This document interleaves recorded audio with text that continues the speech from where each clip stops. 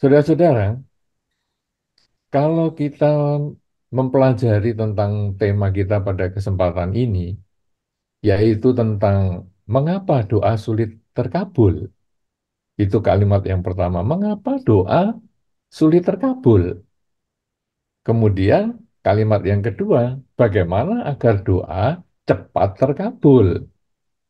Ya, jadi kalimat pertama, kenapa doa sulit terkabul? Sulit. Tapi kemudian yang kedua, bagaimana agar doa cepat terkabul? Kok bukan lebih mudah ya? Tadi katakannya sulit. Sulit kan mestinya mudah. Bagaimana doa mudah terkabul?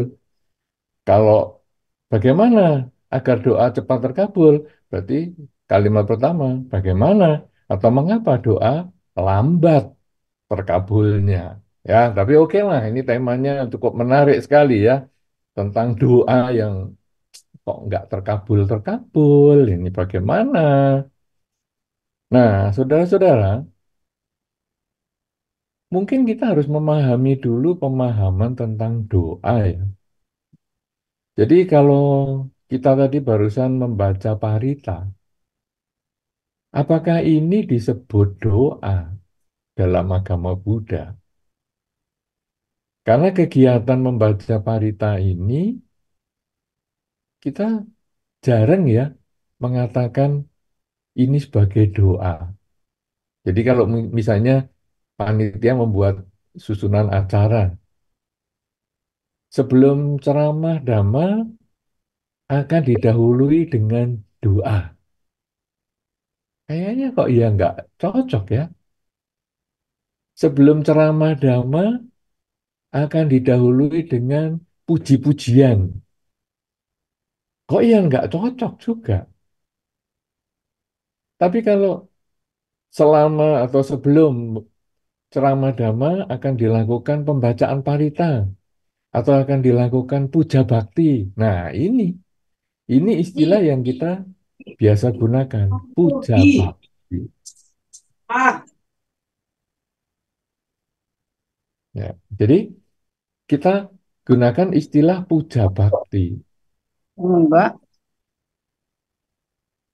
Ya, mungkin mungkin panitia perlu meng-mute ya apa mematikan beberapa peserta yang baru supaya otomatis bisa mati karena kadang-kadang mereka lupa kalau pas join ke room seperti ini.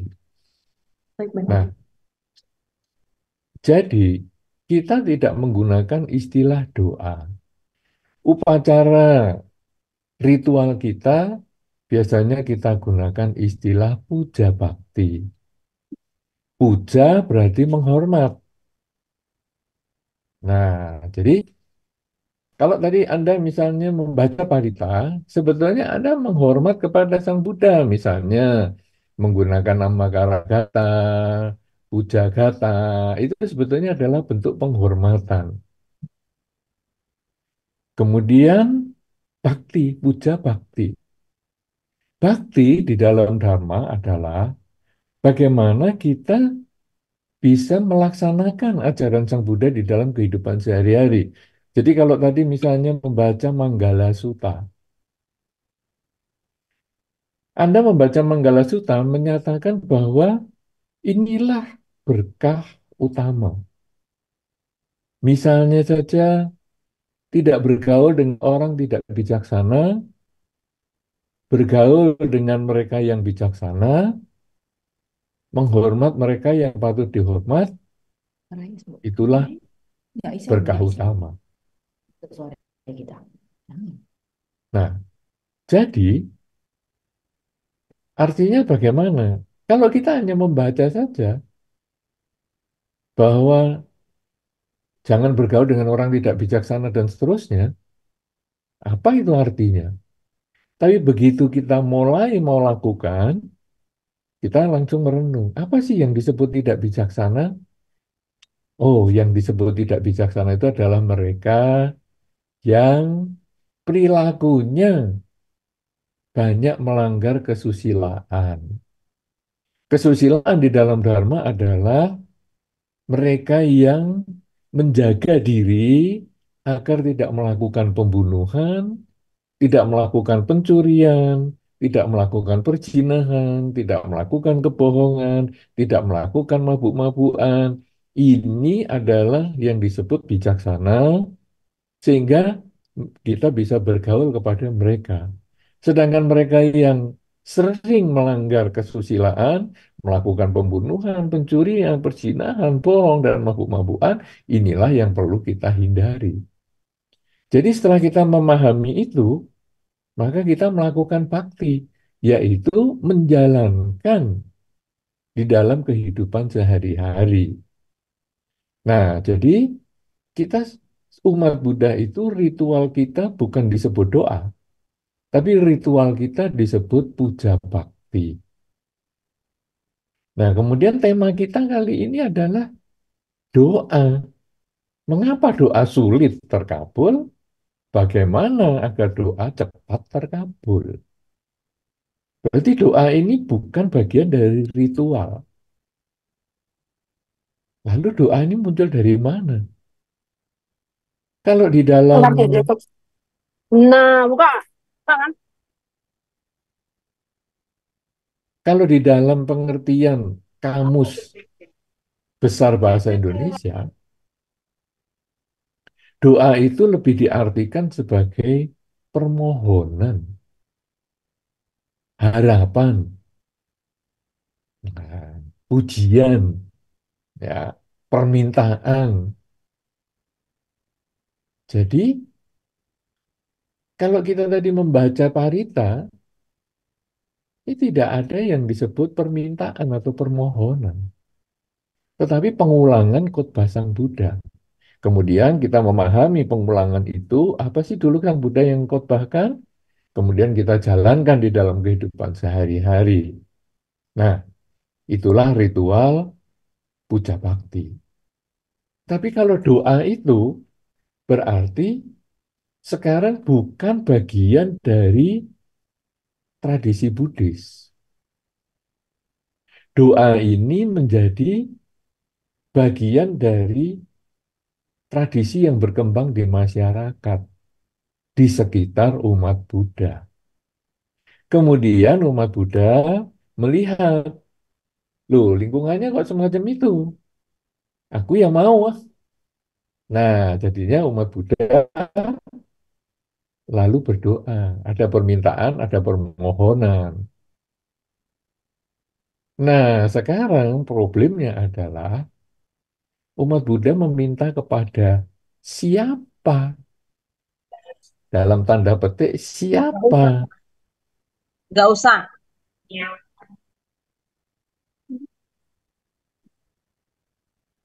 Kenapa demikian? Karena ketika kita misalnya membaca parita, kadang kita di depan sudah rupang.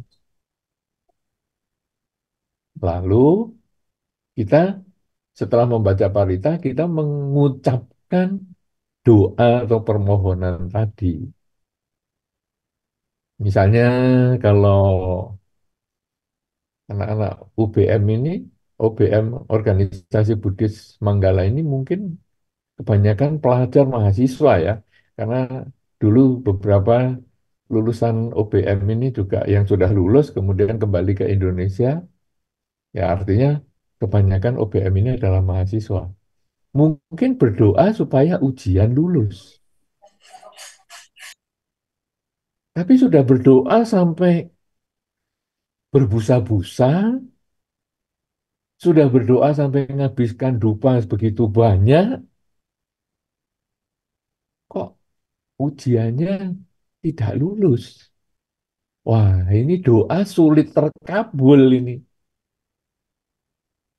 Nah, sekarang problem yang tadi saya sampaikan adalah kita doa kepada siapa?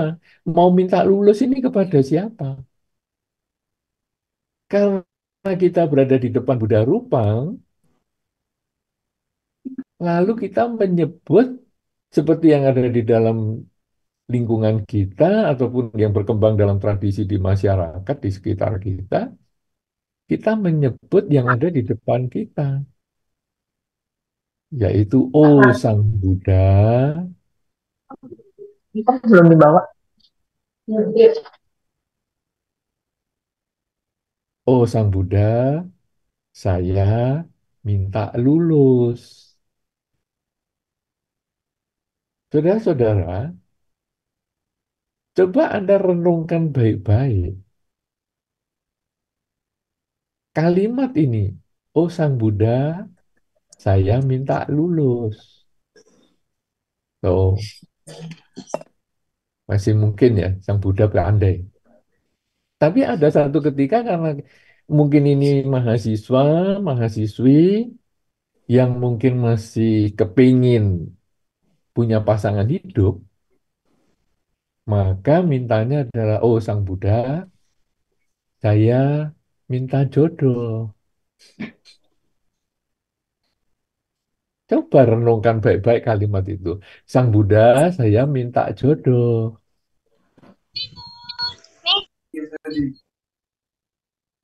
Kalau kita renungkan, Sang Buddha ini siapa?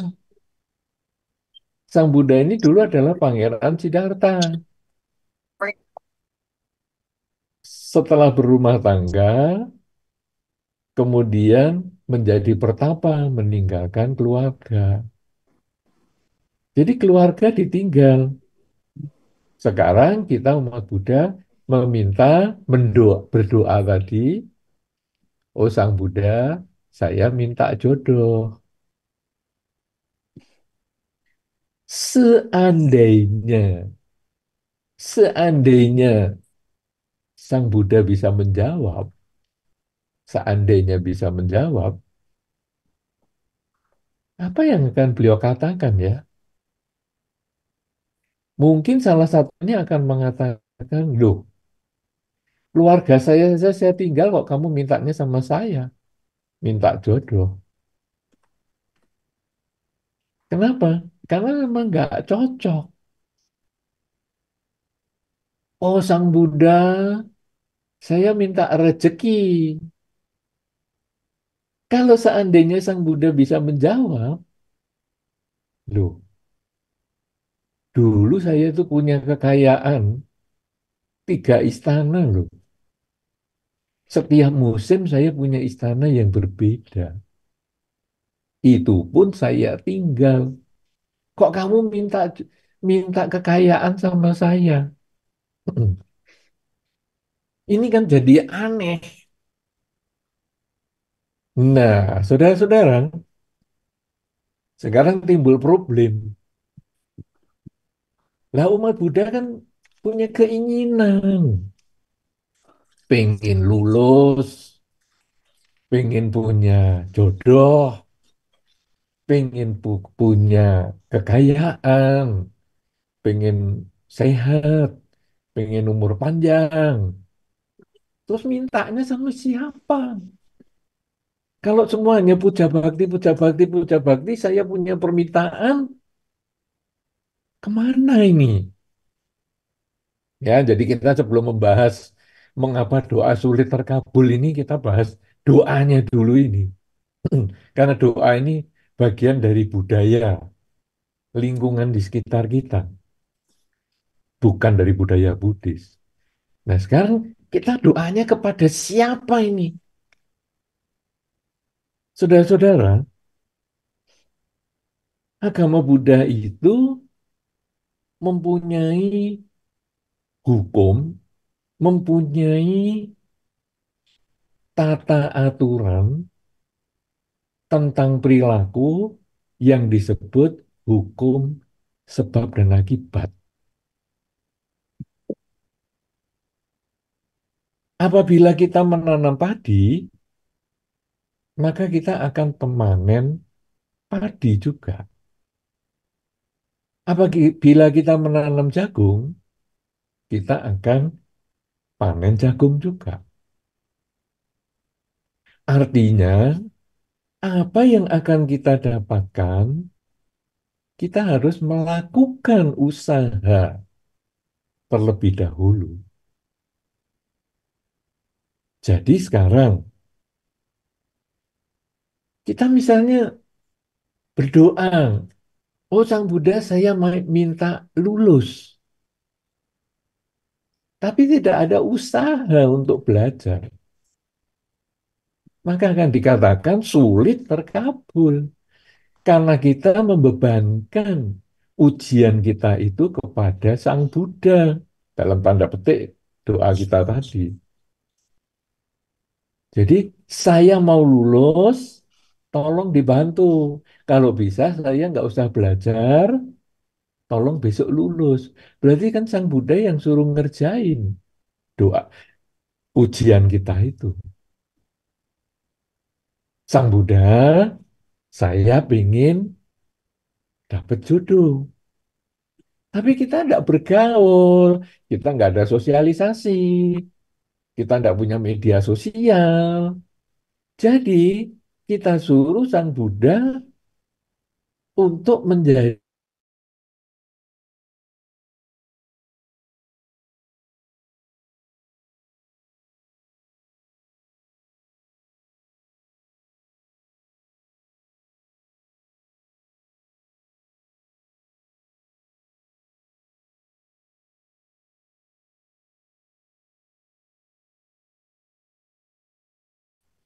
datanglah jodoh. Ini kan tidak mungkin. Saya nggak tanam apa-apa, tapi saya dapat apa Nggak mungkin. Ini kan bukan hukum alamnya. Sang Buddha saya pengen kaya, tapi nggak ada usaha. Nah kita kan menyuruh nyarikan duit untuk kita. Ini kan aneh. Nah, kita harus menyuruh-nyuruh Sang Buddha itu.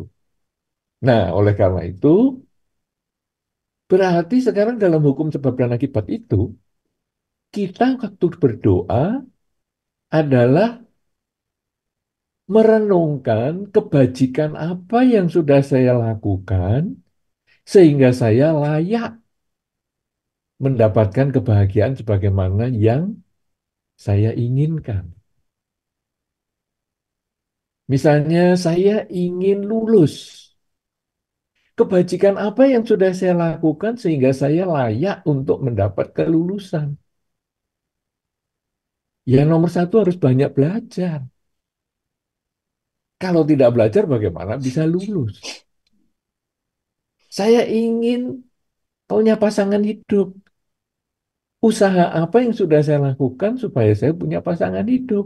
Ya harus punya media sosial, banyak pergaulan, sosialisasi, mudah diajak berbicara, diajak bergaul.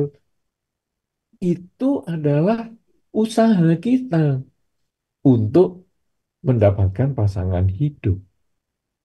Saya ingin kaya, silahkan. Umat Buddha boleh kaya. Nah, tetapi usaha apa yang kita harus lakukan supaya kita menjadi kaya?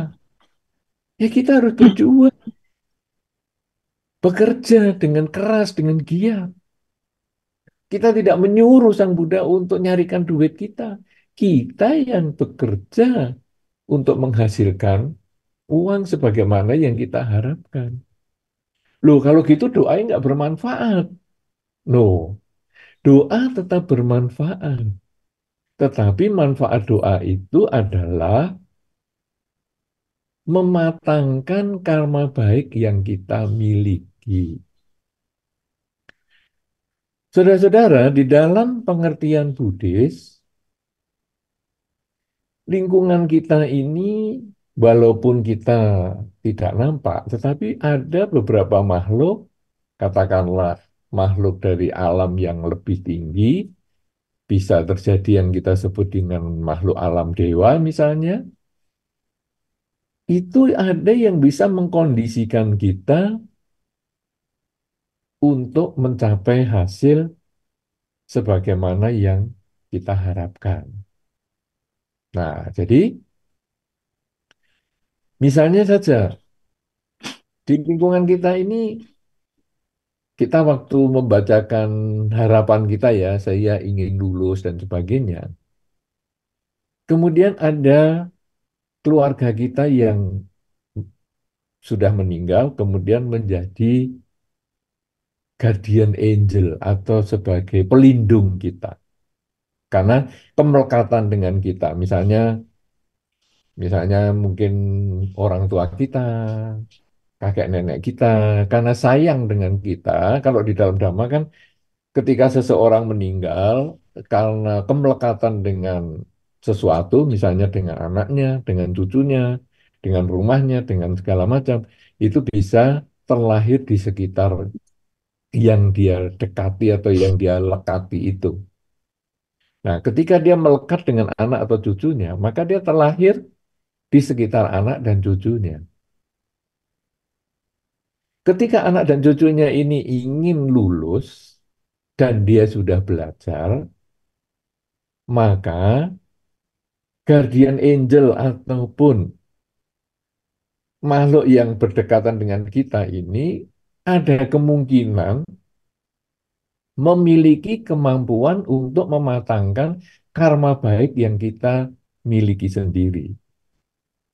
Sehingga mungkin ujiannya itu waktu kita belajar, seolah-olah kita ini bisa tahu, kayaknya ini besok nggak keluar nih, Ah, yang bab ini aja yang saya pelajari. Eh, sungguhan, yang kita pelajari itu yang besok keluar ujiannya. Jadi kita mudah sekali menjawab. Nah, itu terkondisi oleh kebajikan yang sudah kita lakukan. Jadi, selain saya belajar, saya juga banyak melakukan kebajikan. Kebajikan dengan pikiran, kebajikan dengan ucapan, kebajikan dengan perilaku. Itu yang mengkondisikan makhluk-makhluk di sekitar kita itu bisa membantu. Nah, itulah manfaat doa. Kalau doa tadi kenapa sulit terkabul? Karena mungkin kita kurang usaha. Yang kedua, kita kurang kebajikan yang kita miliki. Nah, kalau sekarang bagaimana doa supaya cepat terkabul? Ya, tentu kita harus ada usaha dan ada kebajikan yang kita lakukan. Nah, sekarang apa kebajikan-kebajikan yang kita bisa lakukan dalam kehidupan ini? Saudara-saudara, di dalam Dhamma ada berbagai kebajikan yang memungkinkan harapan kita itu bisa menjadi kenyataan. Nomor satu, kebajikan ataupun perilaku yang harus kita miliki adalah kita punya keyakinan yang kuat. Keyakinan apa ini? Keyakinan pada hukum sebab dan akibat. Sebab dan akibat perbuatan ini benar-benar menjadi tema di dalam Dharma. Jadi menanam padi tumbuh padi, menanam kebajikan tumbuh kebahagiaan, menanam kejahatan tumbuh penderitaan. Kita perlu punya keyakinan itu. Sehingga ketika saya melakukan banyak perbuatan baik, tetapi kok doa saya dalam tanda petik tadi, harapan saya, doa saya, kok belum tercapai ya, kok belum terwujud ya, maka saya yakin bahwa ini bukan salah siapa-siapa, tetapi memang karena karma baik saya belum matang. Bahkan ada yang mengatakan, wah banyak orang berbuat baik malah hasilnya penderitaan. Tuh lihat tuh, orang-orang yang baik itu malah hidupnya pada menderita. Sebaliknya lihat yang sana itu. Orang yang jahat, yang jahat-jahat malah hidupnya bahagia. Kadang-kadang kita melihat itu di dalam masyarakat, membuat kita goyah. Wow, orang yang baik menderita, orang yang jahat malah bahagia. Wah, kalau gitu untuk apa aku berbuat baik? Nah, ini karena dia tidak punya keyakinan yang kuat pada hukum sebab dan akibat. Padahal kalau dia punya hukum, mengerti hukum sebab dan akibat, nah, tidak mungkin orang berbuat baik itu hasilnya penderitaan. ini pasti buah kebajikan yang dia lakukan belum muncul. Yang muncul adalah buah kejahatan yang pernah dia jalani sebelumnya. Kalau orang baik masih memetik kejahatan, maka berarti kebajikannya masih kurang. Dia harus melakukan terus-menerus, terus-menerus, sampai akhirnya nanti satu ketika kebajikannya berbuah, pasti dalam bentuk kebahagiaan. Sebaliknya, ketika ada orang jahat, kok hidupnya bahagia? Tidak mungkin di dalam hukum sebab dan akibat yang saya yakini, kejahatan itu membuahkan kebahagiaan itu tidak mungkin. Cuman sekarang kejahatan yang dia lakukan belum matang buahnya. Yang masih dia petik adalah buah kebajikan yang pernah dia lakukan. Kalau sekarang dia berbuat jahat saja buahnya masih banyak ke yang baik, apalagi kalau dia menambah kebajikan. Maka tentu pada satu ketika kebajikannya dia ini buahnya akan muncul menyambung kebahagiaan-kebahagiaan yang sudah dia alami. Jadi saudara, prinsipnya sekarang bagaimana doa berhasil dengan keyakinan ini, kalaupun kita sudah baik masih menderita, jangan menghentikan kebajikan kita. Sudah baik saja masih menderita, apalagi saya berhenti. Saya harus teruskan berbuat baik. Sebaliknya ketika ada kejahatan dan tetap bahagia, maka kita renungkan. Jahat pun masih bahagia, apalagi kalau berbuat baik. Tentu menjadi lebih bahagia lagi. Inilah keyakinan yang kita harus miliki sebagai modal untuk doa kita tercapai ataupun terwujud harapan kita. Selain kita punya keyakinan, maka kita tentu harus memiliki usaha. Usaha yang keras untuk mewujudkan harapan kita itu. Tadi saya sudah sampaikan, ketika kita ini misalnya mau lulus ujian, maka kita harus usaha belajar. Bukan hanya dengan berbuat baik, berbuat baik, ya saya akan memberikan parcel untuk dosen saya. Ini kan saya berbuat baik, tapi nggak belajar. Ya susah ya lulusnya. Itu malah menyuapkan. Kan nggak bener ini. Jadi saya mau ngasih parcel, silahkan. Tapi saya juga harus belajar. Kemudian saya ingin dapat pasangan hidup. Ya usaha tadi. Dengan membuka sosialisasi kita seluas-luasnya, bergaul ke masyarakat seluas-luasnya. Saya ingin kaya, ya saya harus bekerja keras semaksimal mungkin. Nah, tapi kebajikan itu juga dilakukan. Jadi kebajikan karena kita yakin bahwa kebajikan itu membuahkan kebahagiaan, kemudian kita ada usaha untuk mendukung kebajikan yang kita miliki, kebajikan itu seperti membuat kita ada kesempatan ya. Jadi ada di dalam Dhamma disampaikan bahwa kesuksesan itu muncul kalau ada usaha dan ada buah karma baik atau buah kebajikan. Jadi di dalam Dhamma disampaikan begitu. Artinya apa? Anda sering melihat di dalam masyarakat orang yang orang yang usahanya keras, kerja keras pagi, siang, malam kerja terus, seumur hidup dia banyak kerja, tapi nggak sukses. Anda tentu sering melihat di masyarakat seperti itu. Di sisi yang lain, Anda juga sering melihat bahwa orang yang baik, baik perilakunya, baik ucapannya, baik cara perbuatannya ataupun cara berpikirnya, tapi yang nggak sukses. Jadi ada yang kerja keras nggak sukses, ada orang baik nggak sukses. Kenapa? Karena kesuksesan itu harus gabungan keduanya. Baik dan kerja keras. Kerja keras ini Kalau ditambah dengan kebajikan, dia akan membuka kesempatan. Jadi misalnya kerja kerasnya itu kemudian dia akhirnya dihubungi dengan orang yang bisa meningkatkan eh, kualitas ekonominya, kemandirian ekonominya dengan lebih baik dan sebagainya, perkenalannya dengan orang menjadi lebih banyak dan sebagainya. Nah, jadi kebajikan ini membuka jalan, memberi kesempatan untuk usaha itu berhasil.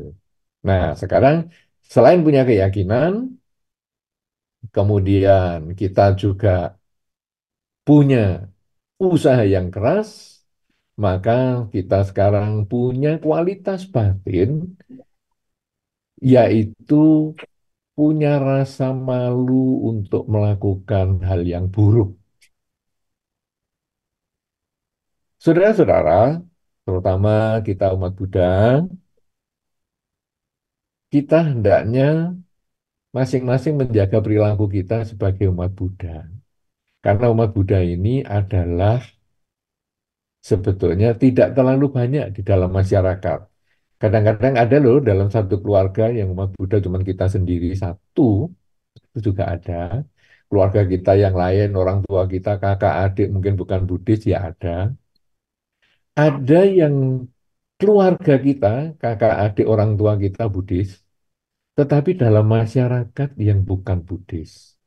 Sehingga di RT kita atau kecamatan kita cuma satu, keluarga kita yang Buddhis. Itu ya ada. Ada juga masyarakat Buddhis, komunitas Buddhis, yang di lingkungannya tidak terlalu banyak umat Buddhanya juga. Itu ya ada.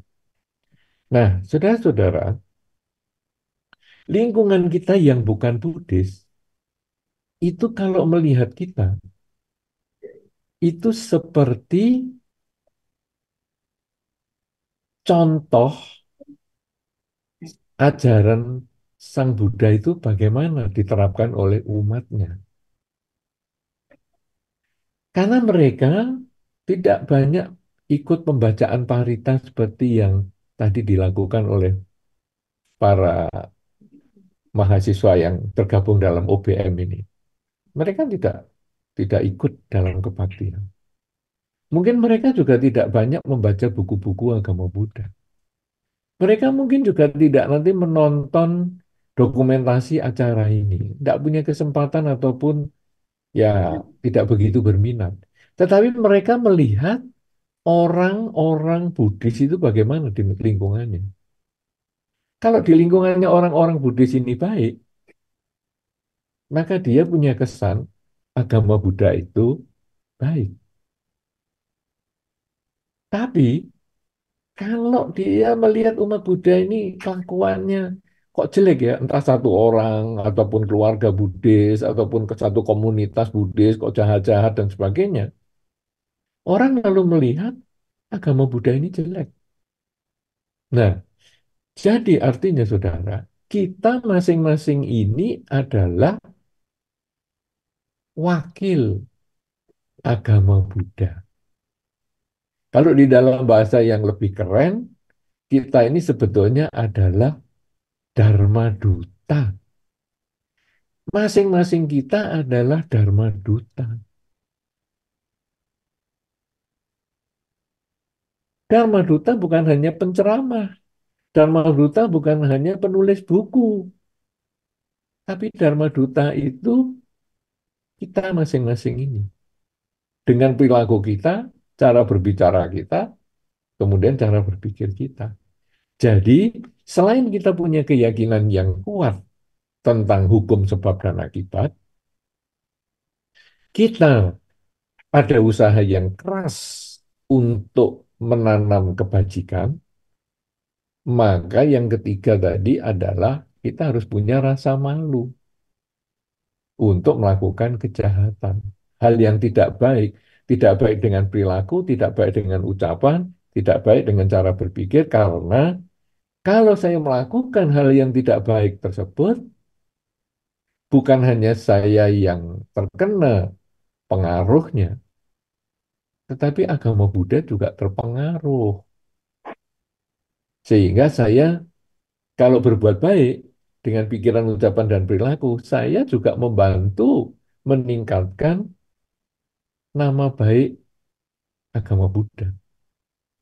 Tetapi kalau saya kurang bisa menjaga perilaku saya, maka saya juga mengurangi nama baik agama Buddha. Oleh karena itu, saudara-saudara, itu menjadi satu tanggung jawab bagi kita bersama untuk menjaga nama baik agama Buddha, yaitu dengan malu berbuat hal yang tidak baik. Jadi kalau kita mau melakukan kebajikan, lakukanlah semaksimal mungkin karena Anda membawa nama besar agama Buddha.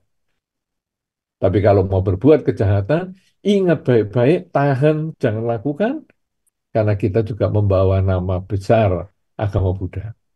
Kalaupun bukan agama Buddha yang besar, keluarga kita pun terbawa. Nama leluhur kita pun terbawa.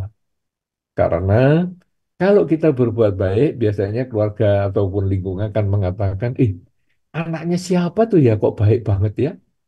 Nah, jadi keluarga kita terkena itu. Anaknya siapa nih? Kelakuannya baik, cara berbicaranya baik, cara berpikirnya baik, anaknya siapa ini? Tapi kalau kelakuan kita buruk, yang kena juga keluarga. Anaknya siapa sih? Jelek sekali orang itu. Wah, kasihan ya. Papa mamahnya sebaik itu kok anaknya begini. Itu kalau papa mamahnya baik. Tapi kalau papa mamahnya tidak baik, ya pantas lah anaknya memang seperti itu. Lah memang papa mamahnya juga begitu. Lah itu memang kejahatan warisan keluarga itu seperti itu. Akhirnya kita akan menjelekkan keluarga kita juga dengan perilaku kita ini.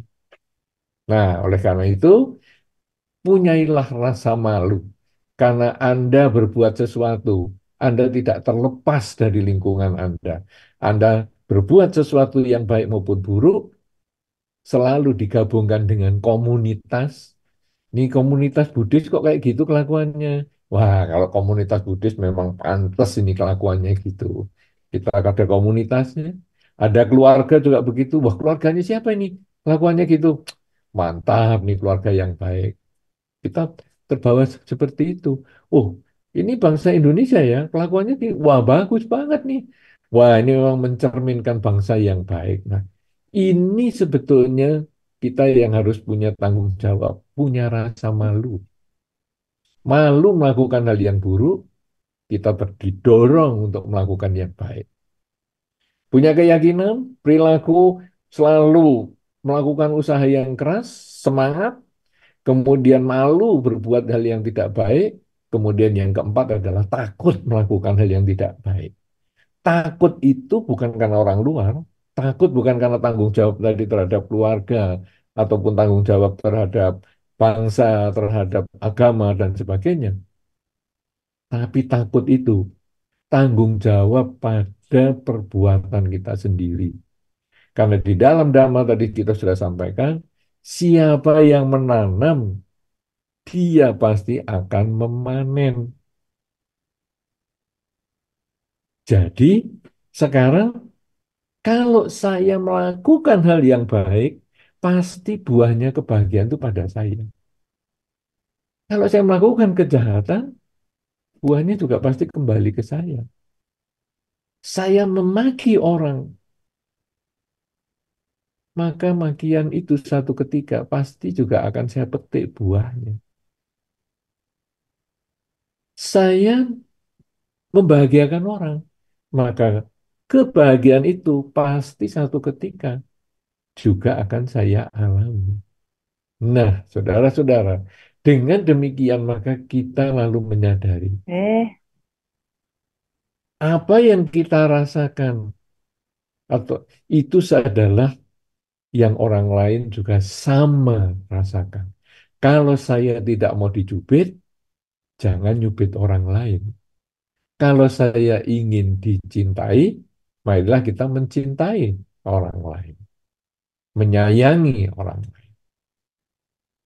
Inilah hukum sebab dan akibat yang membuat kita takut untuk melakukan yang buruk.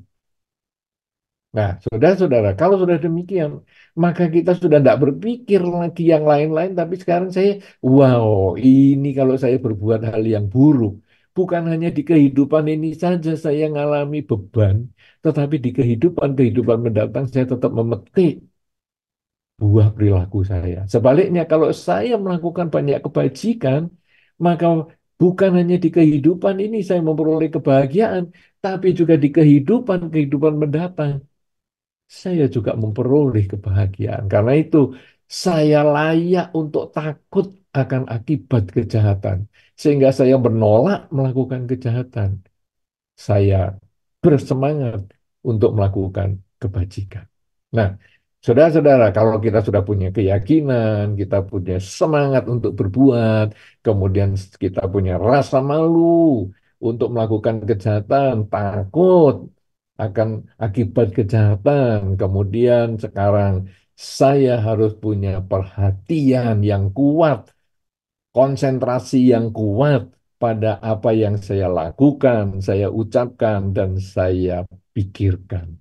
Kenapa demikian? Karena ketika saya selalu punya kesadaran yang kuat, saya sadar saat ini sedang berpikir, saya sadar saat ini sedang berbicara, saya sadar saat ini saya sedang bekerja misalnya. Maka kesadaran itu akan mengarahkan kita selalu melakukan kebajikan, menghindarkan kita dari kejahatan. Bagaimana kesadaran ini bisa kita bina? Ketika kita sering mengulang di dalam batin, saat ini saya sedang apa? Saat ini saya sedang apa? Saya, ini saya sedang berpikir. Wah, pikiran saya kok jelek. Oke, abaikan. Saya kembalikan untuk berpikir yang baik. Misalnya mengucap, semoga semua makhluk bahagia di dalam pikiran. Ucapan saya kok ngomongin yang jelek ya? Saya kok mau menyakiti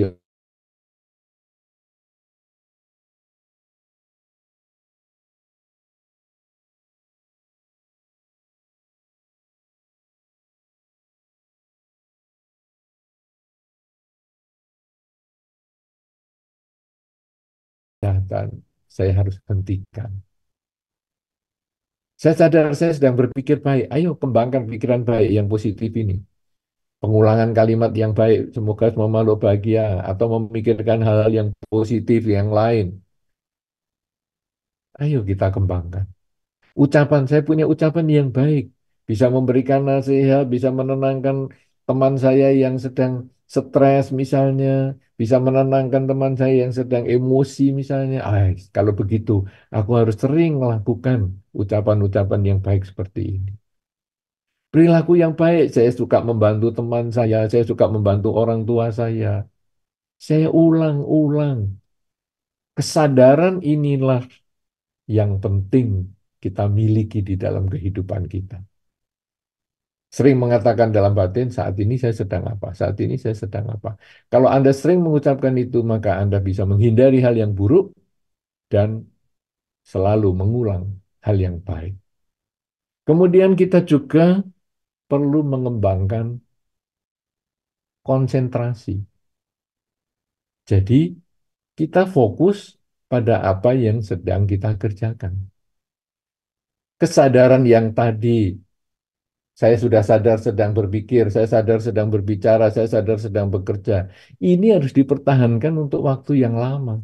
Jangan cuma sadarnya dua menit, kemudian 24 jam sisanya tidak ada kesadaran sama sekali. Tapi kita harus berusaha dari dua menit ini kalau bisa menjadi tiga menit, empat menit, sepuluh menit, sehingga kalau bisa sepanjang waktu selalu sadar. Nah, jadi kita terus kembangkan kesadaran ini dengan kekuatan konsentrasi kita supaya kesadaran kita ini menjadi lebih maksimal. Kalau kita sudah memiliki keyakinan yang kuat, kalau kita sudah punya semangat untuk berjuang dengan melakukan kebajikan dengan lebih maksimal, punya rasa malu, punya rasa takut untuk melakukan kejahatan, kemudian kita punya kesadaran, punya perhatian, maka kemudian muncullah kebijaksanaan. Kebijaksanaan adalah mengetahui hal yang baik untuk dikembangkan, mengetahui hal yang buruk untuk dihindari. Kalau itu berjalan terus sepanjang waktu di dalam kehidupan kita sehari-hari, maka kebajikan yang kita kumpulkan lewat pikiran, ucapan, dan perilaku itu akan membuahkan kebahagiaan sebagaimana yang kita harapkan. Dengan demikian, maka dikatakan doa kita terkabul. Dari mana doa kita bisa tercapai, doa kita bisa terkabul? Dari buah perilaku kita sendiri. Oleh karena itu, saudara-saudara, kenapa kalau kita tadi pertanyaannya di dalam tema kita adalah kenapa doa sulit terwujud atau terkabul? Karena kadang kita hanya meminta, tidak ada usaha. Ingin panen, tidak ada tanaman. Nah, bagaimana supaya doa menjadi lebih mudah tercapai atau terwujud adalah dengan melakukan tanaman kebajikan semaksimal mungkin sebagaimana yang tadi saya sampaikan sehingga hasilnya nanti apa yang kita inginkan akan menjadi terwujud menjadi kenyataan. Inilah yang menjadi awal diskusi kita dalam kesempatan ini dalam tema kita adalah mengapa doa sulit terkabul dan bagaimana agar doa tepat terkabul. Mudah-mudahan ini bisa memancing diskusi yang menarik untuk pendalaman agar kita juga memahami bahwa doa bukan bagian dari budaya Buddhis, tapi kita lebih cocok dengan puja bakti. Memuja, menghormat, tapi sekaligus juga berbakti, mewujudkan penghormatan kita dalam perilaku kebajikan di kehidupan sehari-hari, karena kita masing-masing adalah bertanggung jawab sebagai Dharma Duta yang membantu melestarikan Dhamma di kehidupan sehari-hari. Terima kasih dan saya kembalikan kepada pembawa acara kita. Terima kasih, semoga bermanfaat.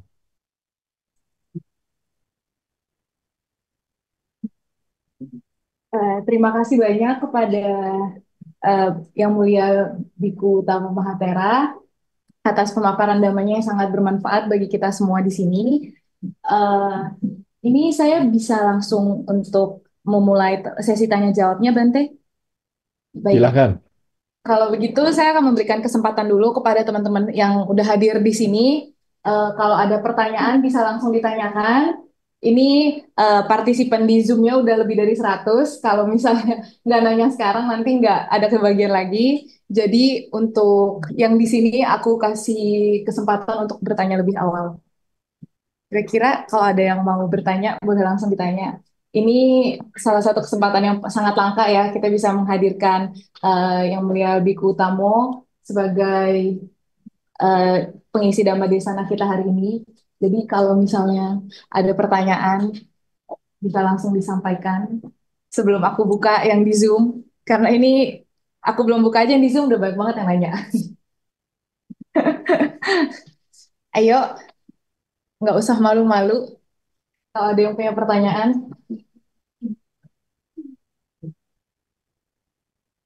Ya, harusnya banyak pertanyaan ya, karena dari dulu pengurus OBM ini sudah mengundang saya datang. Kalau saya datang ternyata nggak ada pertanyaan, kan saya jadi melongo sendiri nanti di situ.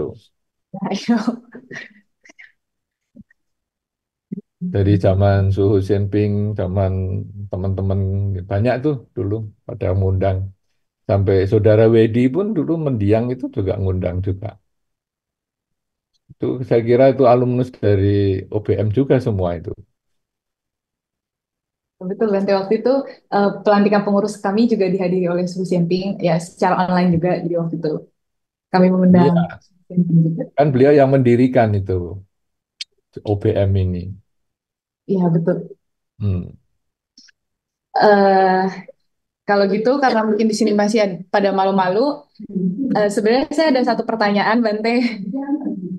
Silahkan. misalnya nih, kan kalau misalnya di agama lain atau misalnya bahkan kalau misalnya ilmu-ilmu hitam lain gitu kan ada tuh kayak misalnya kita berdoa atau misalnya kita mengharapkan orang lain untuk celaka gitu. Nah, kalau misalnya di agama Buddha ini kan tentunya kita nggak boleh dong doain orang lain untuk em, terjadi hal hal buruk kepada orang-orang tersebut gitu kan. Tapi kalau misalnya di agama Buddha sendiri, kira-kira untuk melihat hal-hal seperti ini, misalnya eh, orang yang nyumpain orang lain atau misalnya orang yang berdoa, maksudnya kan ada juga nih misalnya orang yang diperlakukan secara tidak adil, dia untuk balas dendamnya, jadi dia misalnya berdoa setiap hari, misalnya dia berdoa setiap hari ke wihara, dia berdoa supaya orang ini, orang tertentu yang memperlakukan dia tidak adil, misalnya cepat meninggal atau misalnya eh, terjadi kecelakaan gitu. Nah, kalau dari pandangan agama Buddha ini seperti apa, Bante?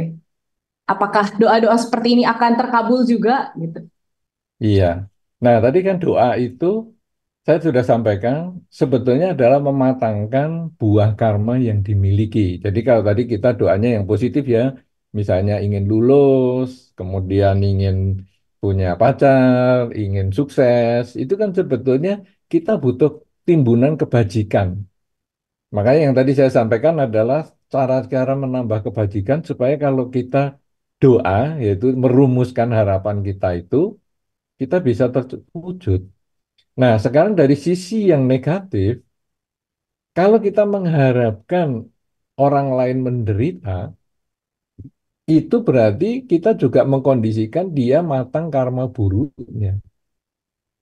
Kalau karma buruknya dia belum matang, maka juga nggak akan berhasil. Katakanlah kalau kita sekarang dalam bahasa yang sederhana ada dukun ya. Dukun yang ingin mengguna-gunain seseorang. Katakanlah ini dukun paling ngetop lah. Nggak mungkin meleset guna-gunanya. Itu bisa saja satu ketika kok nggak kena. Biasanya kena nih kalau mau saya bikin sakit bisa sakit. Mau sakit berapa di program, sakitnya tiga hari bisa, sakitnya lima hari bisa, seminggu bisa. Biasanya selalu bisa. Kenapa sih ah, ini kalau saya guna-guna kok nggak bisa? Nah, apa sebab? Karena yang lain itu ketika diguna-guna supaya sakit tiga sampai lima hari atau seminggu itu, karena karma buruknya mendukung. Jadi orang yang diguna-guna itu sudah punya timbunan karma buruk yang dipercepat matangnya sesuai dengan pengharapannya. Nah, sebaliknya yang tadi kok meleset nih kenapa? Karena karma buruknya belum mencukupi. Masih banyak karma baiknya. Sehingga guna-gunanya dikatakan, kalau dalam bahasa tema kita, tidak terkabul. Doa negatifnya tidak terkabul. Kenapa? Karena karma buruknya tidak mencukupi. Nah, sekarang tadi Anda bertanya, saya umat Buddha, saya mendoakan orang ber- supaya dia menderita. Bagaimana ini? Ketika saya berpikir untuk membuat dia menderita, saya sudah bikin karma buruk sebetulnya. Jadi sebelum saya mendoakan dia buruk, saya sudah karma buruk dulu di pikiran. Kemudian tadi dikatakan, wah tiap hari baca parita untuk biar si A sakit misalnya. Berarti dia mengulang-ulang karma buruknya ini sepanjang hari. Kalau si A itu tidak sakit karena karma baiknya banyak, si A-nya tidak sakit, kitanya sudah berbuat karma buruk terus. Jadi yang satu ketika kita akan memetik buah karma buruk kita sendiri tadi. Si A belum sakit, kita sakit sendiri.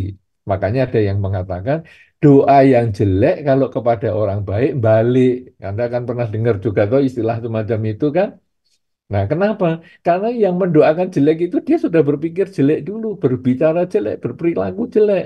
Apalagi dia ngomongkan sama orang lain, itu loh aku doain itu biar dia mati umurnya pendek dan lain-lain. Itu sudah berpikir jelek terus. Nah, kalau seandainya si A itu memang punya timbunan karma baik, wah dikatakan doanya dia terkabul. Tapi artinya apa? Dia sudah berpikir jelek, dia melakukan berbuat perbuatan buruk terus, akhirnya si A sakit dan dia bahagia. Bahagia di atas penderitaan makhluk lain. Dia berbuat buruk lagi. Akhirnya dengan mendoakan orang berbuat buruk itu atau mendoakan orang jelek itu dia berbuat buruk, berbuat buruk dan berbuat buruk. Tapi sekarang ada teman Anda yang sakit, si A sakit. Kemudian Anda mendoakan supaya si A sembuh. Anda bisa bayangkan itu. Ketika Anda melihat teman Anda sakit, Anda, aduh kasihan ya. Ah, ayo kita bikin kumpul-kumpul bacaan bacakan doa untuk bersama supaya dia sembuh. Nah, Anda sudah mendukung pikiran yang positif. Kemudian Anda mengajak teman-teman Anda untuk membaca doa bersama-sama. Berarti Anda mengkondisikan teman-teman berbuat baik. Anda sudah berbuat baik lagi. Kemudian si A itu sembuh sungguhan teman Anda karena timbunan karma baiknya sudah mencukupi. Dan Anda berbahagia, teman-teman Anda juga berbahagia. Eh, itu yang kita si A yang kita doakan itu akhirnya sembuh. Anda berbuat baik lagi. Nah, jadi kalau sudah berpikir begitu, kita pun timbul kebijaksanaan kan? Enaknya mau milih apa? Mau memilih saya mengharapkan si A sakit atau saya mengharapkan si A sembuh? Lah, tapi saya nggak benci sekali sama si A. Benci sama si A, renungkanlah keyakinan tadi. Yang pertama kan kita punya keyakinan ya, sebelum tadi tentang usaha yang penuh semangat tadi, keyakinan bahwa saya tidak cocok dengan si A. Ada kemungkinan karena tanaman karma buruk di kehidupan yang sebelumnya. Kalau begitu, kenapa saya harus di kehidupan ini saya menanam karma buruk yang baru? Sudahlah, enggak usah. Dulu saya lahir ya enggak kenal dia, masa sekarang enggak kenal dia juga menderita. Ya sudahlah, abaikan aja. Nah kan kita bisa berpikir netral begitu, daripada menjahati dia. Tapi begitu ada yang ingin kebahagiaan, ayo kita lakukan doa bersama-sama. Itu yang akan mengkondisikan kita hidup bahagia. Begitu kira-kira apa cukup atau masih kurang penjelasan saya? Cukup Bente, sudah sangat cukup. Terima kasih banyak Bente. Uh, untuk pertanyaan selanjutnya dari teman kita di sini juga ada yang mau bertanya lagi. Ayo, silakan. Jadi kan um, aku pernah ditanya temanku yang agama mereka ingin um, tahu tentang agama Buddha. Terus mereka bertanya bahwa pencipta kalian itu siapa? Karena waktu itu kan kita ke restoran, terus mau makan, mau pesan makanan, terus tapi ikannya itu masih masih hidup. Terus aku bilang aku nggak makan, karena di agama kami itu termasuk membunuh. Terus mereka kayak nggak percaya gitu, mereka bilang e, Tuhan menciptakan kita karena kita anak kesayangan mereka gitu. Terus mereka tanya, ehm, siapa yang menciptakan kalian? Terus yang mau saya tanya itu, gimana cara yang benar untuk menjelaskan kepada mereka yang belum mengerti tentang ajaran ini? Ya, sebetulnya jawabannya ini agak panjang ya. Jadi kalau Anda pada saat itu, siapa yang menciptakan kalian? Yang menciptakan saya ya orang tua saya lah. Nah, orang tua itu siapa yang nyiptakan? Ya, kakek nenek. Nah, kakek nenek yang nyiptakan siapa? Ya, dan seterusnya. Nah, kita balik jawab dia tuh. Nah, kalau kamu yang nyiptakan siapa? Nah, dia akan ada ngomong, ini tuh si sang pencipta. Sang pencipta yang nyiptakan siapa coba? Kan semua ada yang nyiptakan. Lah sang pencipta yang nyiptakan siapa? Nah kan akhirnya malah jadi perdebatan. Terus perdebatan lah ini kan ikannya jadi jadi dingin ini nggak jadi dimakan dong. Nah, jadi akhirnya kita enggak sampai kita harus membahas seperti itu. Kita ngomong saja konsep dharma itu tidak sama. Agama Buddha itu bukan penciptaan. Cuman begini ya. Di dalam hidup ini saya itu mengukur dengan diri saya. Kalau saya tidak ingin dicubit, saya jangan nyubit orang. Artinya apa? Ketika binatang ini masih hidup, jangan saya menjadi pelaku pembunuhan. Karena saya pun dibunuh juga tidak mau. Nah, kalau sekarang kita berbicara tentang pencipta, nanti jadi panjang. dikatakan bahwa ikan itu diciptakan untuk kebutuhan manusia. Bagaimana kalau sekarang harimau makan manusia? Siapa tahu harimaunya itu juga punya konsep bahwa manusia diciptakan untuk dimakan harimau. Kan repot. Ini kan hanya saling saling pembenaran, rasionalisasi. Jadi sekarang begini, saya dengan kamu memang berbeda, tetapi kita cocok-cocokan saja. Kamu cocok dengan ajaran itu silahkan makan. Saya nggak cocok ya kamu biasa-biasa aja. Saya nanti akan memilih yang lain, kan bisa. Nah, dengan cara begitu kita menghindari perdebatan.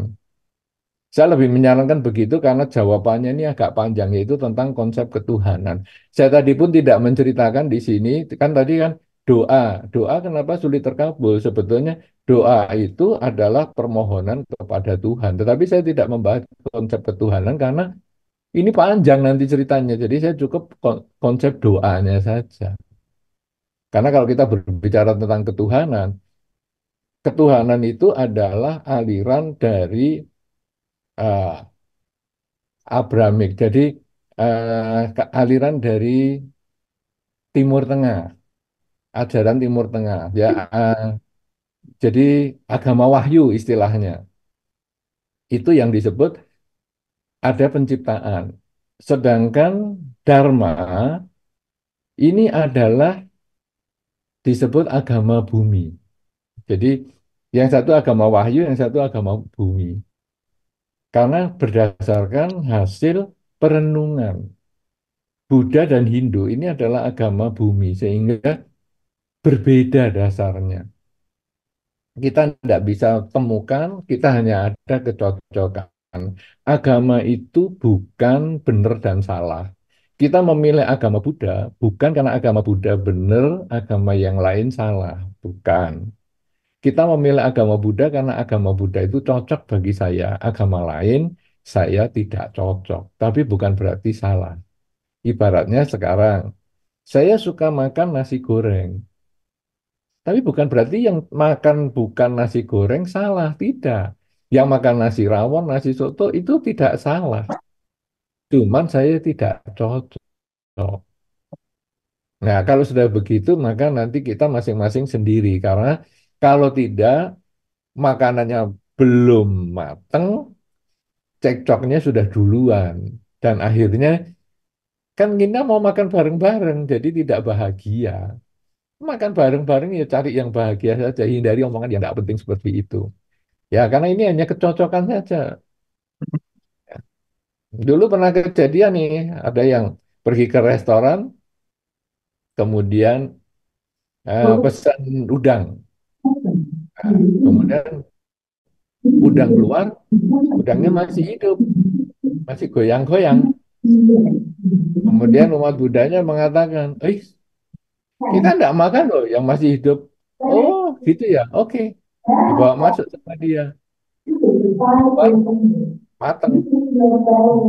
Udang yang sama, tapi sudah dimatengkan. Bagaimana? Sudah matang semua dong? Iya, eh, makan sudah. Ya, sudah dong, nggak ribut lagi. Ya semacam itu. Jadi kita agama itu kita buat jangan jadi beban. Jadikan ini sebagai pedoman, tapi jangan jadi beban. Fleksibel saja, santai aja. Ya, oke. Okay. Tapi pertanyaan yang bagus. Kira-kira cukup nggak perjawaban saya atau Anda merasa kurang? Oh, kayaknya nggak serg ya. Cukup. Oke. Okay. Ya, jangan jangan memancing perdebatan. Karena perdebatannya sama-sama nggak ngerti sebetulnya. Bumi diciptakan. Kalau menurut pelajaran Abramik atau yang agama Wahyu, jadi dua dan dua kelompok agama Wahyu dan agama Bumi. Jadi kalau agama Wahyu ini bumi diciptakan. Apa buktinya bumi diciptakan? Itu sulit dicari buktinya. Tapi agama agama bumi mengatakan bumi ini sebagai proses. Apa buktinya bumi sebagai proses? Ya juga sama-sama tidak ngerti. Makanya di dalam drama dikatakan pembahasan semacam ini sudah tidak membawa kesucian, menghabiskan waktu, kebenarannya nggak jelas. Karena bumi ini kalau menurut Dhamma sudah sudah muncul tenggelam kiamat terbentuk kiamat terbentuk sudah puluhan kali sehingga tak terhingga waktunya. Jadi sulit untuk diketahui awal mulanya. Ya, gitu ya. Oke. Baik, terima kasih banyak Bante. Ayo, ada lagi yang dari sini mau tanya? Oke, silakan.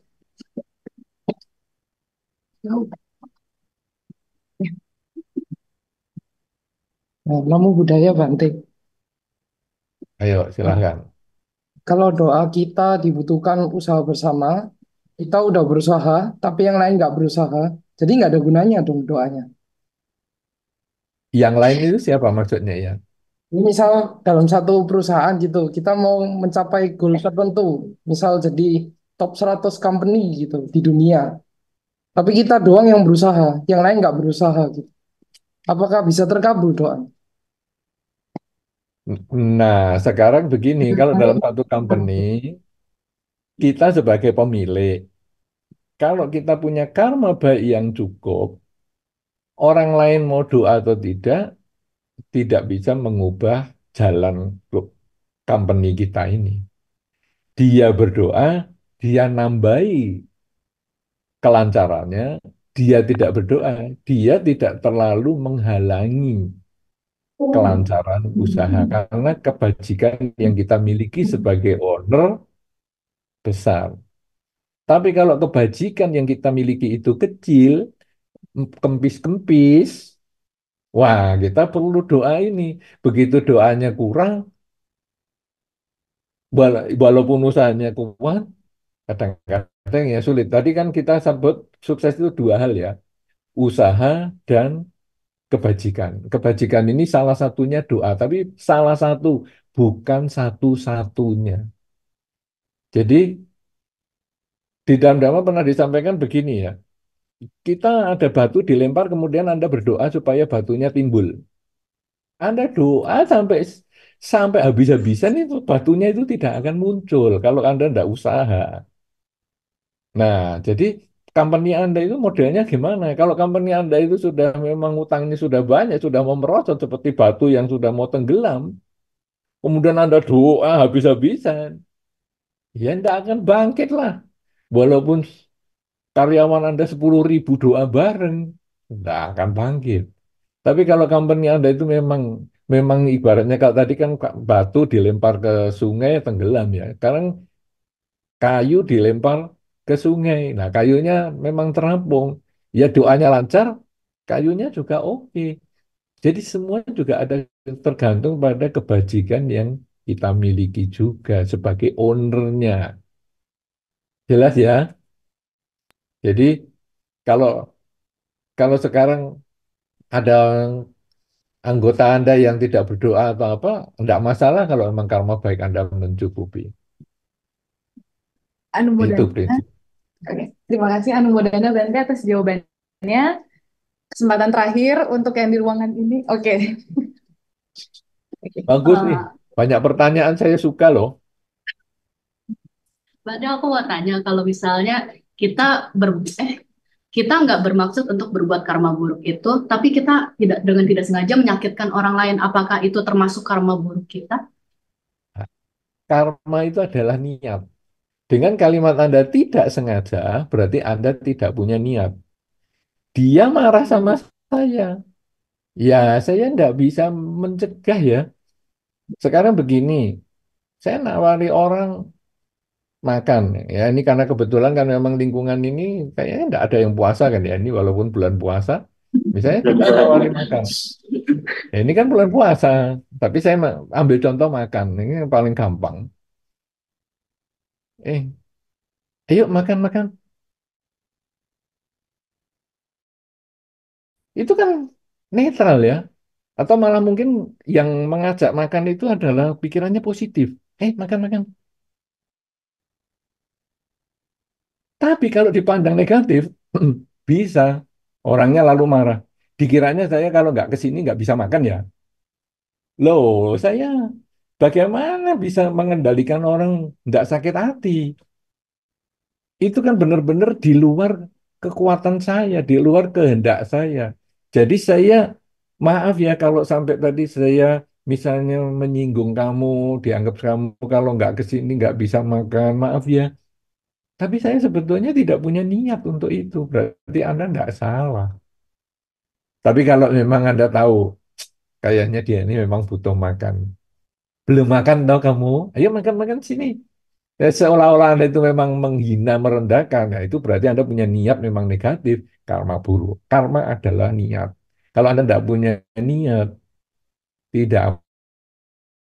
Misalnya Anda duduk, Anda duduk di kursi nih. Kemudian ada semut mati karena Anda duduki.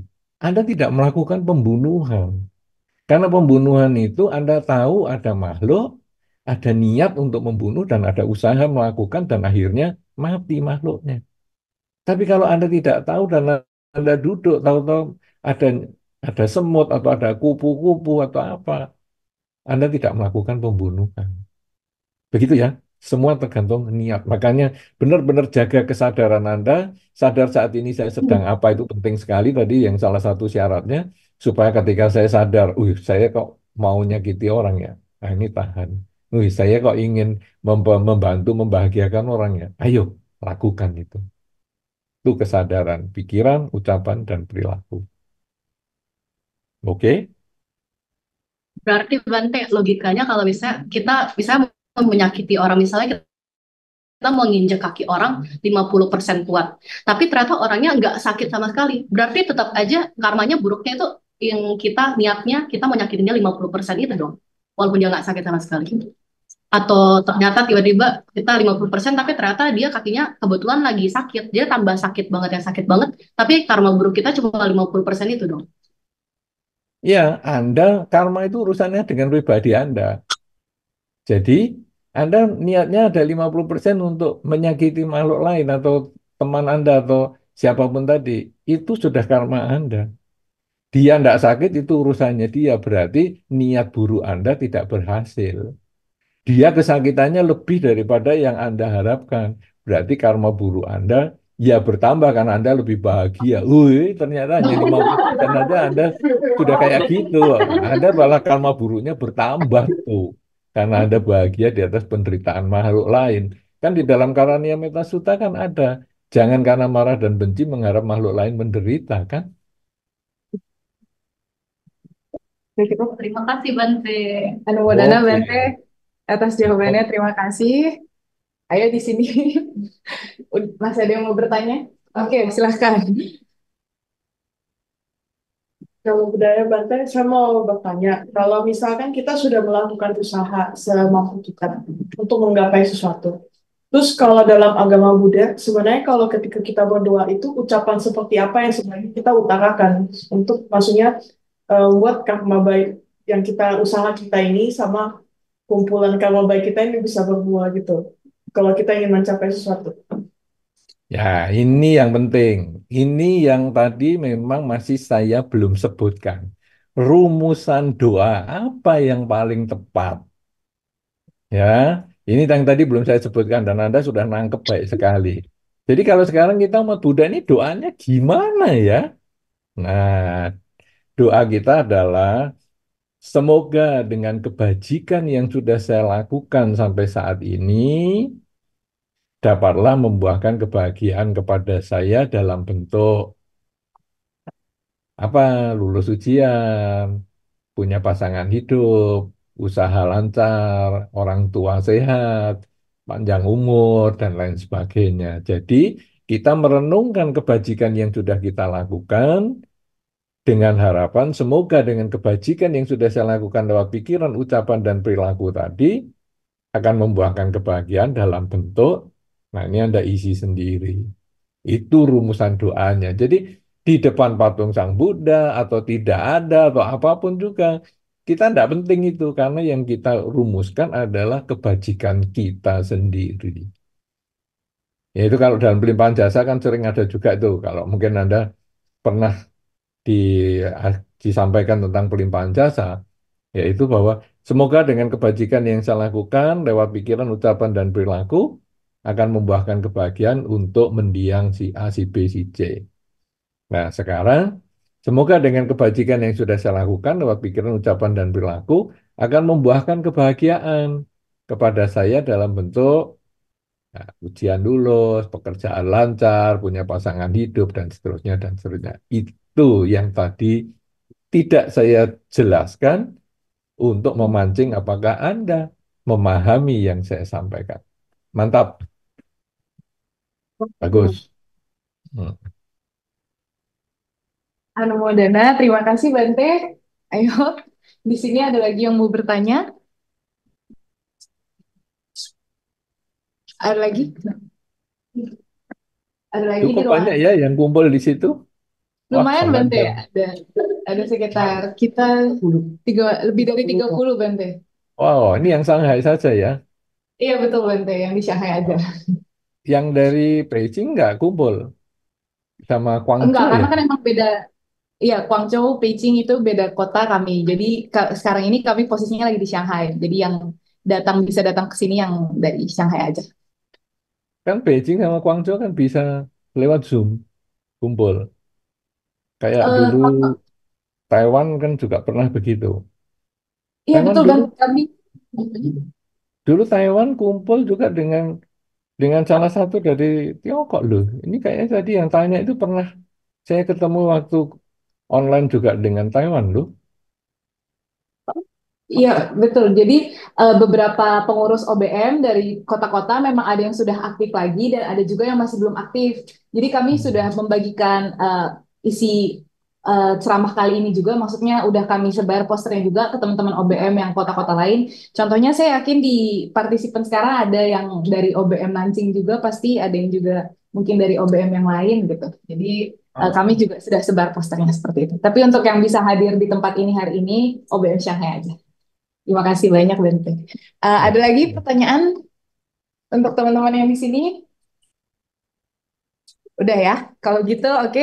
Eh, saya eh, memberikan kesempatan kepada teman-teman yang di Zoom sekalian. Tadi itu udah beberapa aku lihat udah ada yang raise hand, ada juga yang eh, chat dari kolom chat. Eh, kalau bisa diperkenankan untuk yang mau langsung bertanya aja ya. Ini aku sesuai dengan urutan yang tadi udah raise hand duluan aja. Dari yang dari chat duluan itu ada dari Edward Huang. Itu boleh silahkan buka kamera lalu langsung ditanyakan secara langsung saja pertanyaannya silahkan. Gimana caranya? Gimana caranya?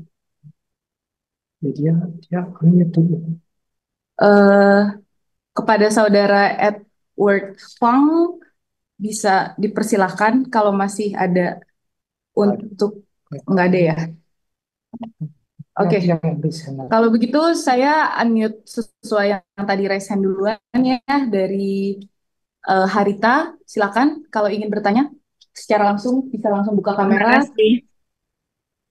Wandami Bante. Eh, Bante tadi ada sebutin eh, beberapa kali tentang eh, Hiri dan Upat- Otapa ya. Eh, pertanyaan saya, apa barometernya eh, dari Hiri Otapa dalam hal lintas generasi supaya tidak terjadi lost in transla- translation? Kemudian pertanyaan kedua, kalau boleh Bante, kan sebagai orang Jawa kan kita sering melakukan eh, banyak puasa yang yang seperti rakat itu. Apakah ada gunanya untuk eh, mencapai sesuatu seperti halnya dalam doa bisa tercapai? Terima kasih Bante, semoga Bante sehat selalu. Sadu. Ya, terima kasih Ibu Harita dari tempat yang jauh, LA. Nah, apa ya barometernya malu dan takut. Nah, sebetulnya kalau malu itu lebih cenderung tergantung pada lingkungan ya. Karena malu di sini belum tentu malu di tempat lain. Ya, misalnya sekarang eh, mungkin budaya pakaian terbuka di tempat tertentu itu wah memalukan. Di budaya yang lain itu biasa-biasa saja. Itu kalau malu yang bersifat seperti eh, yang tentang pakaian dan sebagainya. Tetapi malu di sini adalah malu tentang pelanggaran sila. Nah, tetapi malu pelanggaran sila ini pun kadang-kadang di berbagai tempat beda. Pembunuhan di sini di tempat lain biasa-biasa aja. Malah tadi tentang ikan itu kan juga muncul tuh. Ya, bagi kita, waduh, membunuh ikan ini ya kayaknya kurang pas ya kalau kita umat Buddha. Bagi mereka, Leo, ikan kan memang untuk dimakan. Nah, ini ini kan ukurannya sudah beda ini. Nah, jadi sila ini atau rasa malu ini memang cenderung tergantung pada lingkungan. Tetapi takut itu urusan subjektif banget. Ini sudah nggak ada urusan sama lingkungan. Bahwa kalau saya yang melakukan, pasti saya yang akan memetik buahnya. Tadi saya contohkan tentang mendoakan orang yang sakit supaya sehat, dan mendoakan orang sehat supaya sakit. Nah, itu kan sangat berhubungan dengan pribadi kita. Mendoakan orang sehat supaya sakit, berarti saya sudah bikin karma buruk. Ini urusan di di tempat ini apakah berbeda dengan di tempat lain, memalukan atau tidak, ini sudah nggak ada urusan lagi. Tapi ini berhubungan dengan tanggung jawab pribadi. Sehingga barometernya apa ini sekarang? Bahwa kalau malu memang kita bisa masih bisa menerima kalau itu berbeda dari satu tempat ke tempat yang lain. Tetapi kalau takut itu berhubungan dengan pribadi kita. Barometernya apa? Diri kita. Makanya kalau sampai, oh kamu kok nggak takut ya melakukan pembunuhan? Ya sudah, kenapa? Karena itu resiko yang dia akan tanggung nanti. Selamanya dia akan tanggung sendiri di kehidupan-kehidupan yang mendatang. Ya, nah gitu.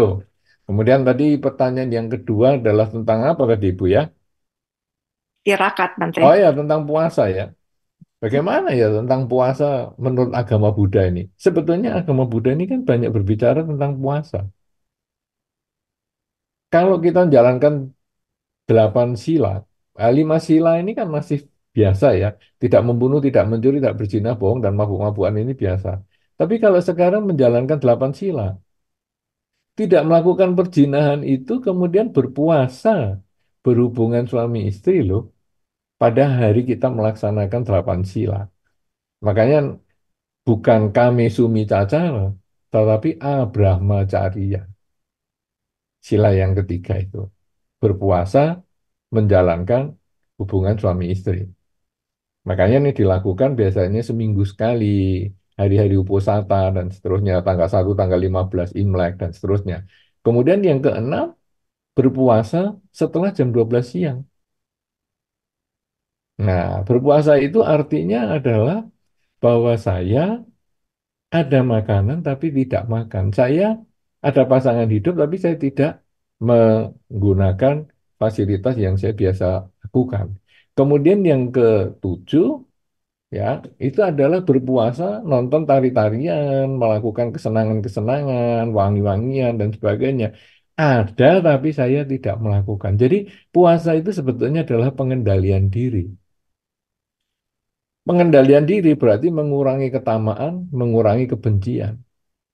Dan itu menjadi satu dasar perilaku konsep dharma. Konsep dharma adalah mengurangi ketamaan, kebencian, dan kegelapan batin. Jadi berpuasa adalah melakukan upaya mengurangi ketamaan, kebencian, dan kegelapan batin. Jadi apakah bermanfaat? Ya bermanfaat. Apakah itu itu bisa mendukung terkabulnya doa? Ya karena mengurangi ketamaan, kebencian, kegelapan batin itu adalah melakukan kebajikan, maka itu berfungsi juga untuk mempercepat karma baik berbuah dalam bentuk yang diharapkan. Begitu, Bu Harita, mudah-mudahan bisa bermanfaat. Anumodana Bante, semoga Bante sehat selalu. Sadu, sadu, sadu. Ya, semoga Ibu juga sehat bahagia ya. Hmm. Baik, eh, kesempatan diberikan selanjutnya kepada Saudara Jedika. Jedika Ciangga, dipersilakan untuk langsung open cam dan langsung bertanya. Anumodana Bante, Eh, saya punya dua pertanyaan. Yang pertama itu kan biasanya setiap selesai puja bakti di wihara di hari Minggu, saya saya itu selalu bertekad eh, semoga dengan perbuatan karma baik yang saya lakukan hari ini, sekarang dan akan datang, semoga keluarga, teman, kerabat sehat selalu, bahagia selalu dan beserta apa yang saya harapkan kepada mereka. Nah, pertanyaan saya sebenarnya boleh nggak sih kita tetap bertekad orang lain itu bisa juga mendapatkan buah karma baik yang kita lakukan saat ini, sekarang, dan akan datang. Jadi ibaratnya yang berbuat saya, yang merasa, yang memetik karma baik itu, saya berharap mereka juga bisa rasakan. Itu pertanyaan pertama.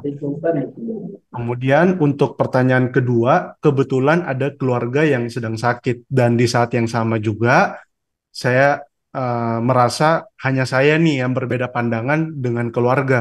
Yang di mana keluarga saya ini selalu fokus berdoa, berdoa, berdoa, minta kesembuhan, tetapi saya lebih fokus bagaimana sih yang sakit ini bisa segera memetik karma baik atau bisa dikatakan sembuh. Nah,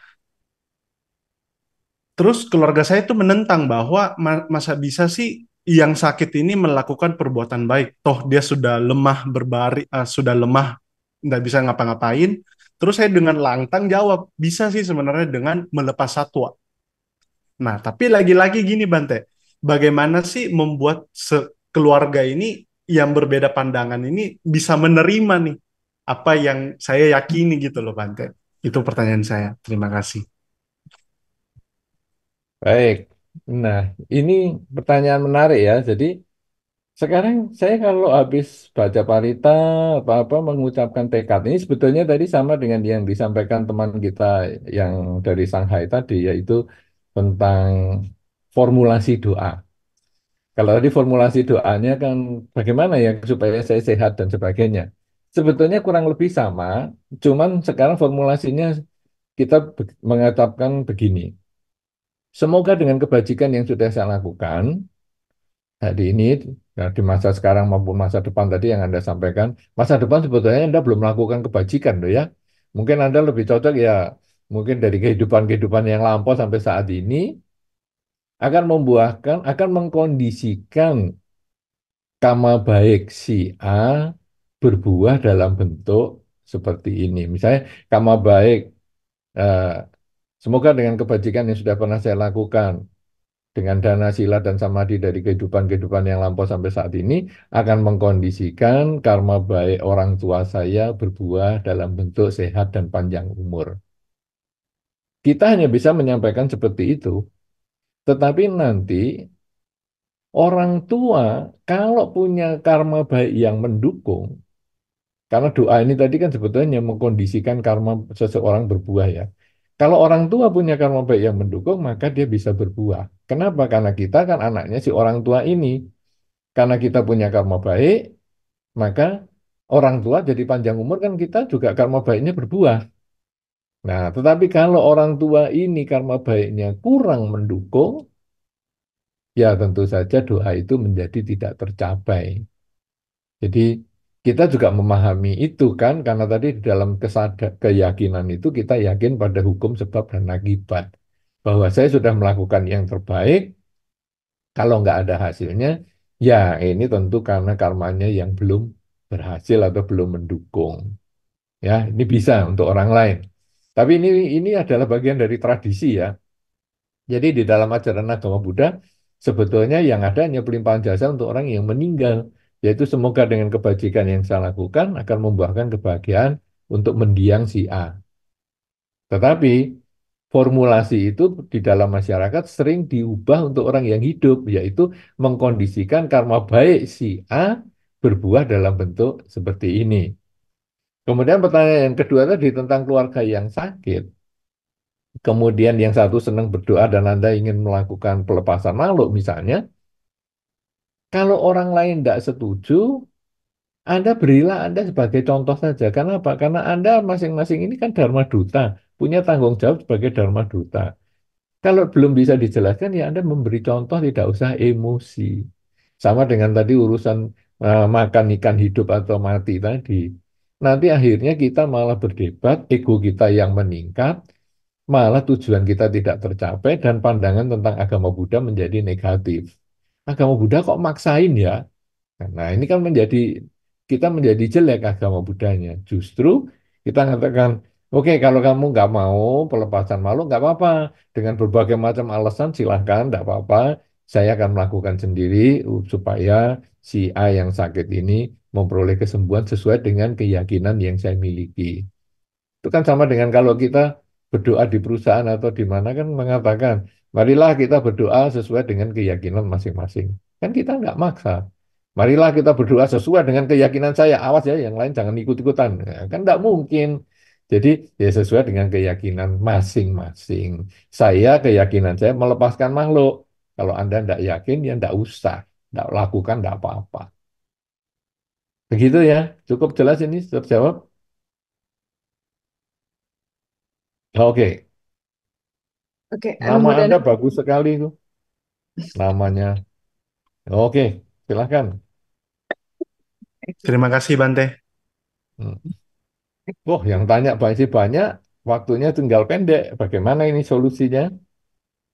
Eh, mohon tanya Bante, kira-kira sampai jam berapa bisanya? Nah, terserah apa ini tiga tiga penanya ini kita selesaikan terus sudah atau masih di situ yang berkumpul 30 orang masih ada yang tanya bagaimana atau terserah Anda.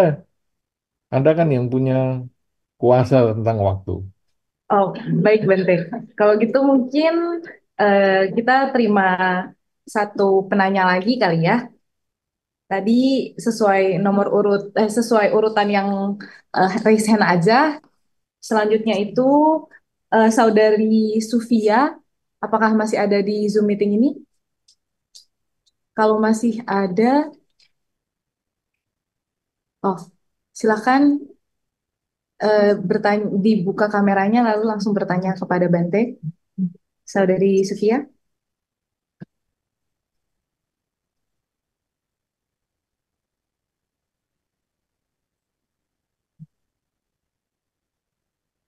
Selamat siang, Bante. Bante, saya kan eh, di kantor tuh kan ada temen sebelah. Soalnya kedengaran nggak, Bante? Dengaran, silakan. Begitu kan saya mikir, sebelah saya ini kan eh, apa eh, agak nggak cocok gitu, Bante, sama saya. Saya pernah mikir, eh, nggak tahu sih ini antara doa atau kebetulan ya. Kalau seandainya dia dimutasi ke lantai 8, saya bagus juga nih. Eh, nggak ternyata kelamaan tuh terjadi. Jadi jadi ke lantai 8. Ya saya kan seneng dong. Syukurlah dia pindah pindah ke lantai 8. Jadi saya mikir, ini saya pikiran saya agak jahat atau emang kebetulan gitu Bante. Makasih Bante. Iya, sebetulnya doa ini kan artinya Anda mengulang-ulang, Anda serius. Semoga teman saya ini segera pindah ke lantai yang lain. Nah, itu namanya doa. Tapi kalau hanya sepintas, aduh aku kok nggak seneng ya sama si A ini. Sudahlah, mudah-mudahan nanti ya, pindah ke lantai 8. Ya, itu sih sebetulnya hanya ketamaan sesaat pada kenyamanan, tapi kan nggak dipindah pun sebetulnya ya nggak masalah. Kan itu bukan suatu karma buruk yang yang berulang. Saat kita mengharap dia pindah, sebetulnya itu ada bagian karma buruknya. Tapi belum sampai yang terlalu kuat. Oh gitu. Jadi saya Hmm. jadi mikir, oh apa kebetulan apa ada karma buruknya juga. Cuma saya juga ngerasa emang kalau nggak ada di sebelah tuh agak ngerasa nyaman karena gitu orangnya super kepo Bante. Jadi setiap kali tuh saya Ya, pikiran saya tuh jelek terus sama dia gitu. ya itu urusan lain ya. Dia kepo atau enggak terserah. Kita tidak bisa Hmm. ngatur orang lain. Yang kita bisa atur adalah diri kita. Jadi sikap kita kepada dia gimana? Sikap kita misalnya ya sudahlah, saya kumpul sama dia karena memang ada karmanya. Ya kalau memang karmanya sudah selesai, ya dia pasti akan berada di tempat yang berbeda. Entah saya yang di Hmm. tempat lain atau dia yang di tempat yang berbeda. Dan akhirnya memang karmanya selesai, maka dia akhirnya pindah ke tempat yang lain. Oke, Si Bante. semoga happy sekarang Anda sudah berpisah dengan teman Anda itu. Iya, makasih Bante. Sama-sama. Eh, baik, Anumodana Bante atas jawabannya. Mungkin karena yang tadi sebelumnya agak sebentar, kita terima satu pertanyaan lagi, boleh Bante? Silahkan. Oke. Eh, sesuai nomor, eh, sesuai urutan yang tadi udah raise hand lagi, dari Saudari Michelle CA, apakah masih ada di sini? Silakan on cam lalu langsung bertanya kepada Bante. Saudari Michelle, kami persilakan. Halo, Saudari Michelle? Oh, mungkin sudah nggak ada. Kita lanjutkan ya ke urutan selanjutnya, Saudari Linawati. Apakah masih ingin bertanya? Silahkan langsung on cam lalu bertanya. Selamat siang Bante.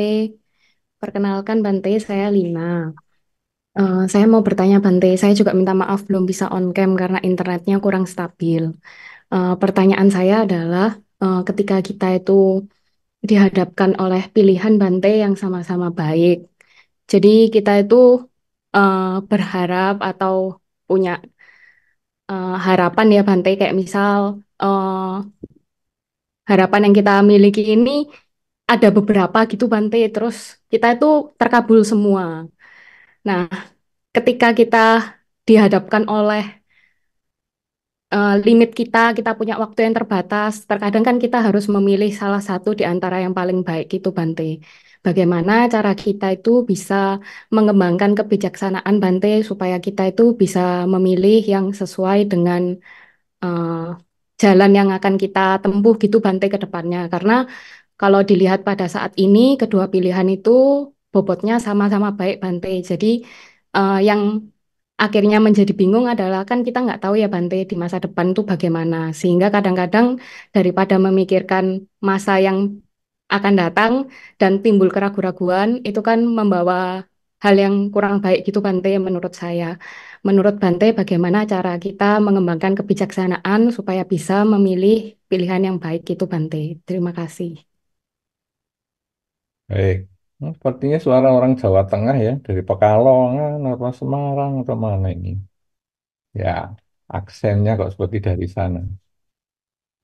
Nah, memang saya harus mengucapkan selamat dulu ya, karena apa yang Anda harapkan menjadi kenyataan, bahkan sampai akhirnya kebingungan karena memilih kok jadi dapatnya baik-baik semua ini gimana ini? Malah bingung sendiri memilih yang baik yang mana. Nah, sebetulnya kita harus tahu tentang tujuan hidup. Bahwa apa yang tadi ada di pilihan itu semua adalah berbicara tentang bagaimana kita mencapai tujuan hidup. Sudah benar, Anda memang tidak bisa memikirkan nanti saya salah pilih gimana. Anda itu hanya bisa memilih yang menurut Anda paling cocok dan baik pada saat ini. Lima tahun yang akan datang ternyata pilihan Anda salah, Anda tidak perlu menyesali karena Anda bukan tukang ramal. Kalau tukang ramal sudah tahu lima tahun yang akan datang akan terjadi apa. Itu pun ramalan dengan memperhitungkan saat ini yang belum tentu terjadi juga. Tetapi bagi kita yang bukan tukang ramal, maka kita hanya bisa memilih yang terbaik saat ini. Kalau ternyata pilihannya benar, maka berarti Anda ya termasuk berbahagia karena karma baik Anda mencukupi untuk mewujudkan tujuan hidup Anda yang lebih baik lagi. Tapi kalau ternyata pilihan Anda salah, Anda juga harus merenungkan bahwa memang saya bukan tukang ramal, sehingga pada saat itu dulu saya putuskan, saya menganggap itu yang terbaik. Jadi, bagaimana saran saya? Sekarang ada dua pilihan yang baik, sama-sama baik. Lalu Anda lihat dengan tujuan hidup Anda.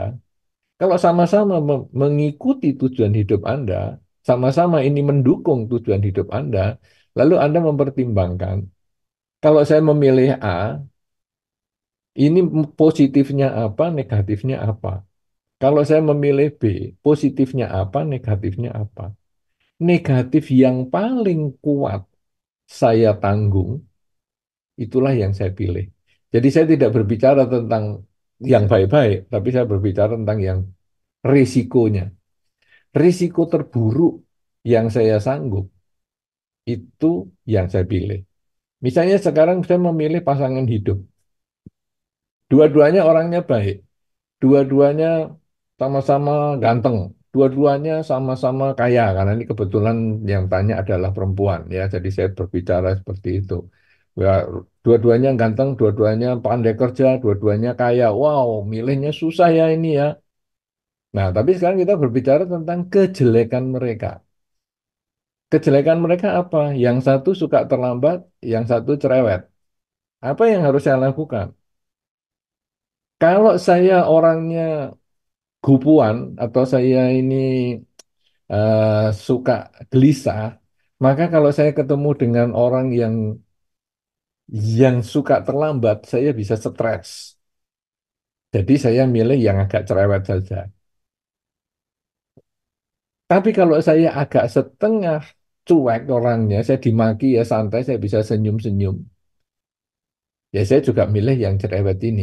Jadi Anda tinggal memilih yang paling jelek yang menurut Anda bisa Anda tanggung. Saya memang kalau kerja agak lambat. Eh, kalau gitu saya memilih yang sering terlambat saja. Saya kebiasaannya kalau make up agak lama dan sebagainya, ya sudahlah, saya milih yang terlambat. Karena sama-sama gantengnya, sama-sama kayanya, sama-sama pinter kerjanya, Anda, Anda jadi bingung milih yang baik ini. Anda pilihlah negatifnya dan yang paling Anda tahan untuk bisa jangka panjang. Mungkin itu salah satu caranya ya. Tentu banyak sekali, tapi karena waktunya juga sudah mepet sekali, saya kira mudah-mudahan ini bisa menjadi sedikit pedoman untuk Anda memutuskan hal yang sama-sama baiknya tadi. Saya kira demikian, terima kasih saya kembalikan kepada pembawa acara kita yang luar biasa. Anumodana, terima kasih banyak Bante atas pertanyaannya dan semoga bermanfaat bagi kita semua. Eh, kalau begitu, kita karena waktunya sudah mepet juga, kita akhiri aja di sini. Terima kasih banyak Bante.